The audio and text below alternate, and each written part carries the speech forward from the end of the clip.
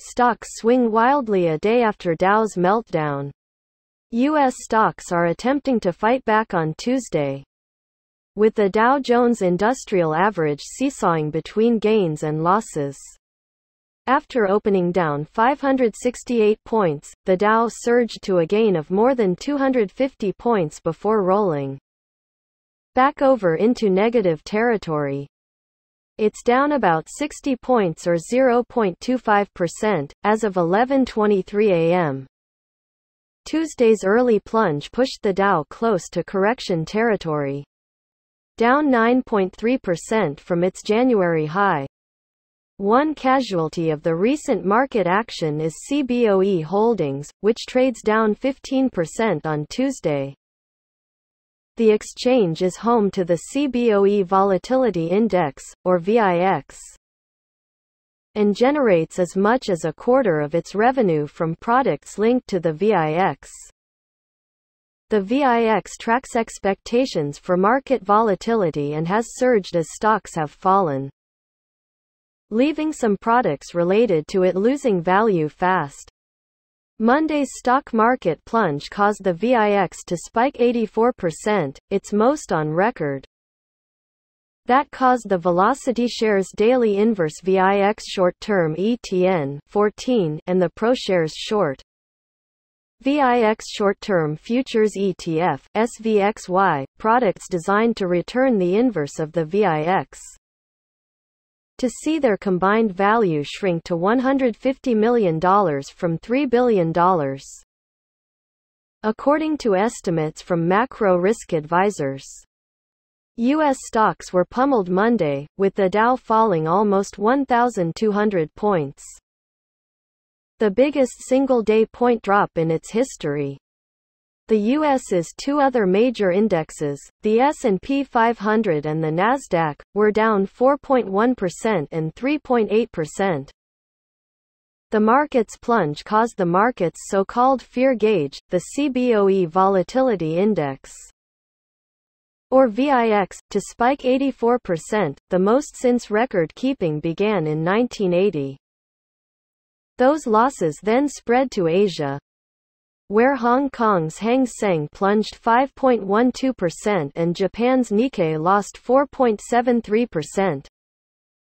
The selling then moved to Europe, where Britain's FTSE minus 2%, Germany's DAX minus 2.44%, and France's CAC minus 2.57% are all under pressure though the stock selling began Friday after a stronger than expected report on wages sparked worries about a return of inflation to the U.S.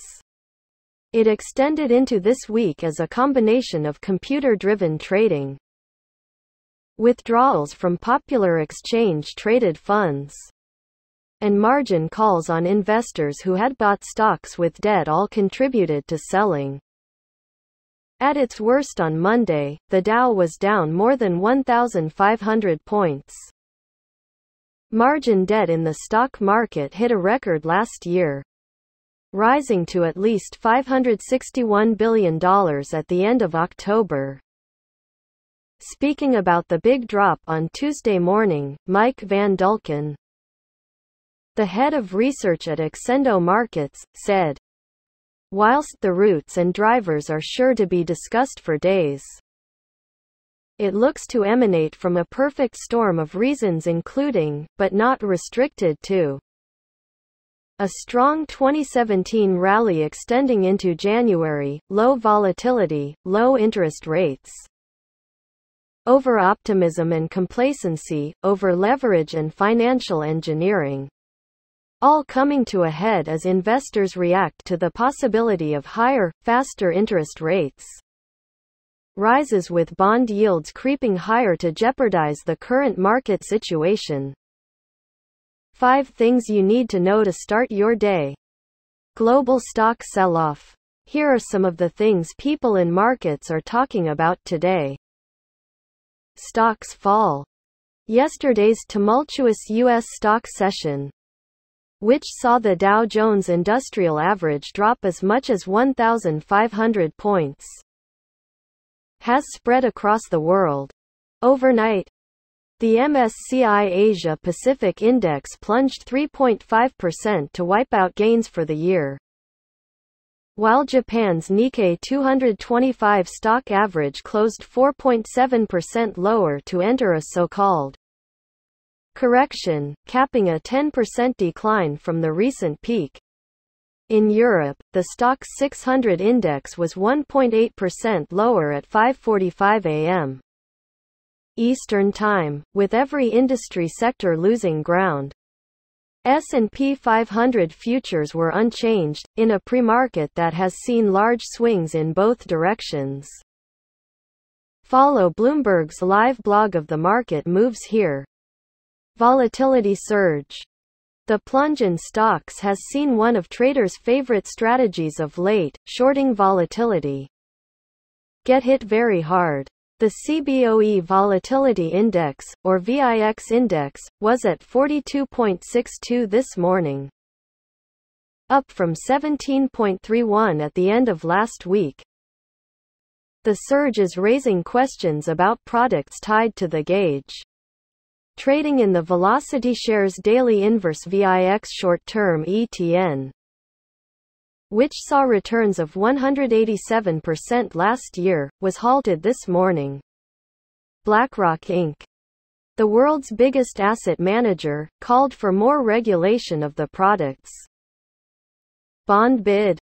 Government bond markets are seeing a reversal of recent declines as traders seek sanctuary in safer assets. Sovereign debt in Europe is rallying, with yields on German, French and UK bonds all falling. The yield on the 10-year Treasury was largely unchanged at 2.724%. After a significant rally yesterday as stocks fell.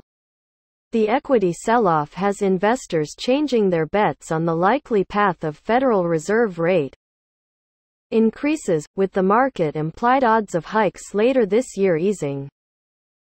Commodities hit a barrel of West Texas Intermediate for March delivery dropped to $63.85 by 5:45 a.m. as raw materials were caught in the market sell-off. There are some early signs of the overnight declines in metals easing as the Bloomberg Commodity Index pared losses to 0.1%. Gold, which traditionally does well in times of market uncertainty, rose slightly to $1,343.36 an ounce. CryptoCrunch. Bitcoin briefly traded below $6,000 overnight as weakness in digital tokens continued. With Ripple, Ether and Litecoin also tumbling at least 11%. The plunge in cryptocurrencies means that many miners of the tokens are hitting a crunch point where running the hardware to extract new coins is more costly than the value of those coins.